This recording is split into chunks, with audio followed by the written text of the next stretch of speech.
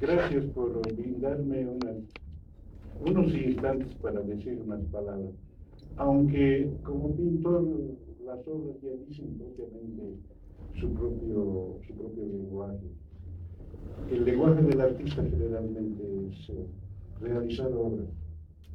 Pero se me ocurre mencionar algo que es muy importante, especialmente para los más jóvenes que están estudiando.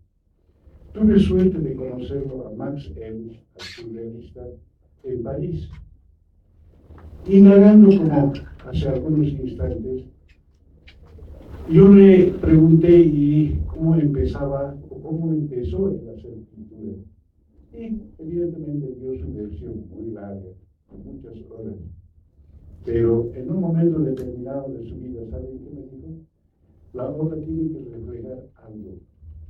No solamente ser una buena pinturita, una esculturita, una cosa bonita o hermosa, tiene que representar algo del ser humano. Y si ustedes observan, él tiene, quizás el único artista, tiene a la Madre de Jesús reprendiéndolo al mismo Jesús cuando era bebito.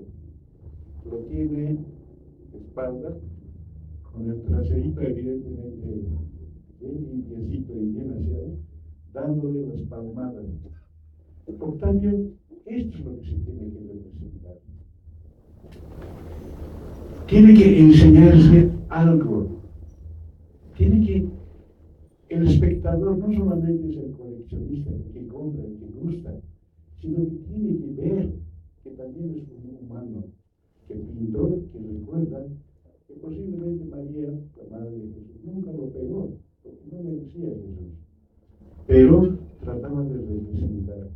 Entonces, con el, con el dedo señalando, me dijo, siempre haz una obra que diga algo.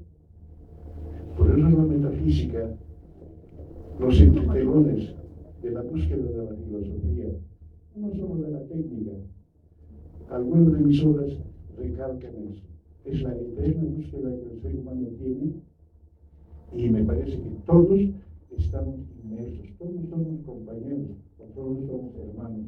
No sé cómo manifestarlo, cómo lo sentirán ustedes, pero les agradezco verdaderamente estar aquí en esta noche que es muy importante para mis obras más que